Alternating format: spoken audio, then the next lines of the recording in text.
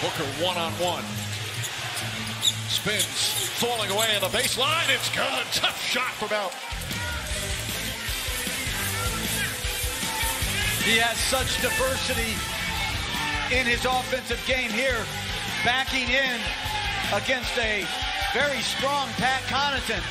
Spins baseline, taking a little bump, a slot by Giannis, and a hoop.